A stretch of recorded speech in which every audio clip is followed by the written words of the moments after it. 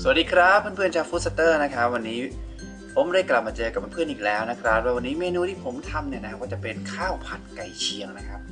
ช่วงนี้หิวมากๆเลยนะครับ เดี๋ยวเราก็มาลองทำตามกันดูเลยนะครับหลังจากที่เราตั้งกระทะเรียบร้อยแล้วนะครับ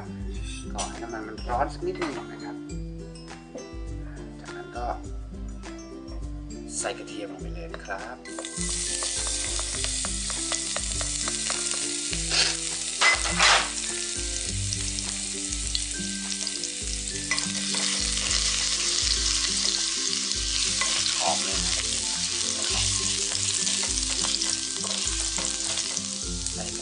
ไก่เชียงล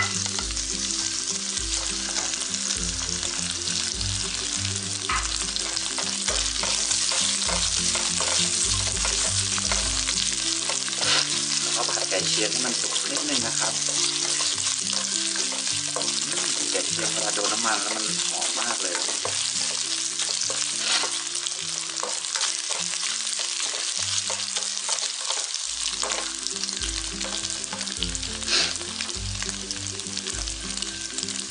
ตามด้วยซีอิ๊วขาวนะครับ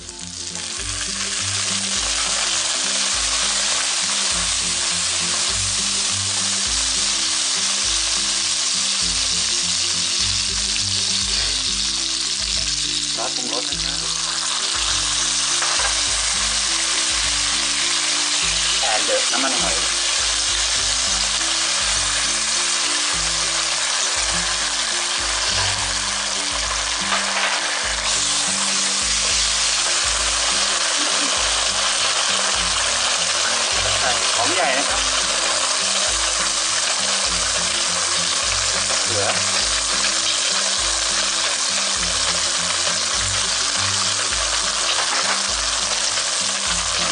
นิดนึงนะครับ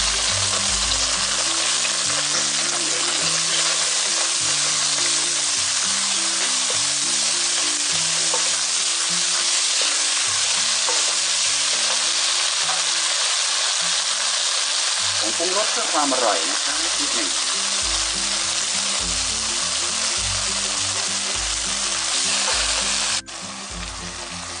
แล้วก็ใส่ไข่ลงไปนะครับ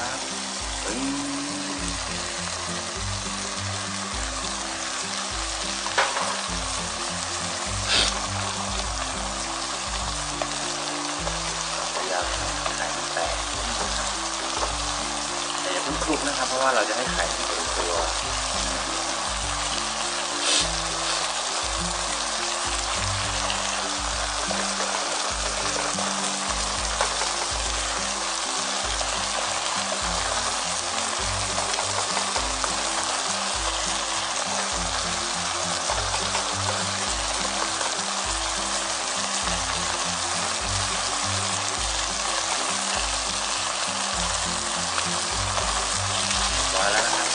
ลุกเกิดกส่วนผลต่างๆกับไข่ลงมาเยแล้ว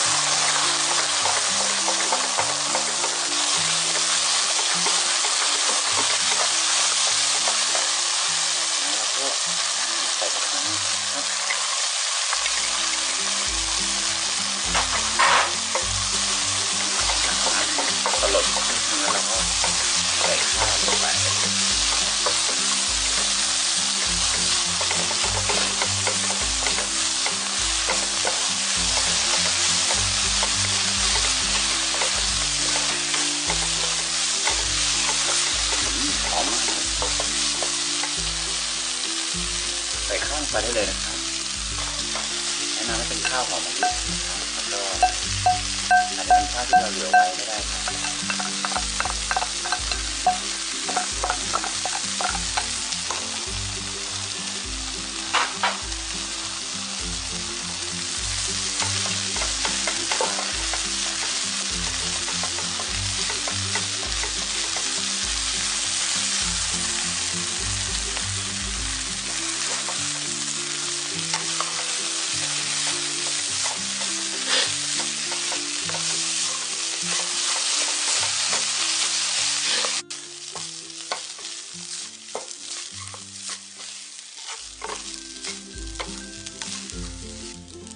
เพื่อความเข้มข้นนะครับ เราก็ใส่เครื่องปรุงเพิ่มอีกทีหนึงหลังจากที่เรามีข้าวเสร็จเรียบร้อยแล้วนะครับน้ำมันหอยนะครับ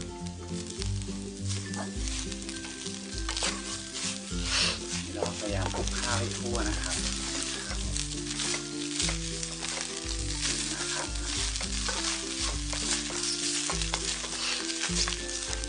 เมนูนี้ทำเป็นอาหารเช้าก็ได้นะครับ แล้วก็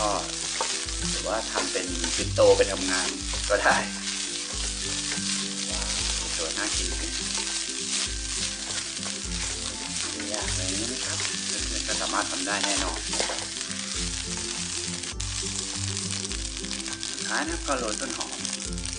เพื่อความหอม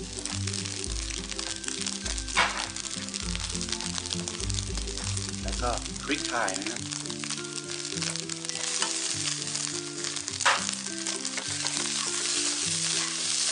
เครื่องเยอะๆหน่อยๆชอบ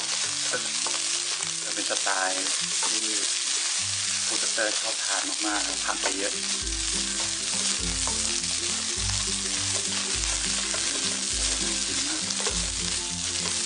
วันนี้เมนูข้าวผัดไก่เช็ดของเราก็น่าทานมาก แล้วก็จัดจานกินกันเลยดีกว่าครับ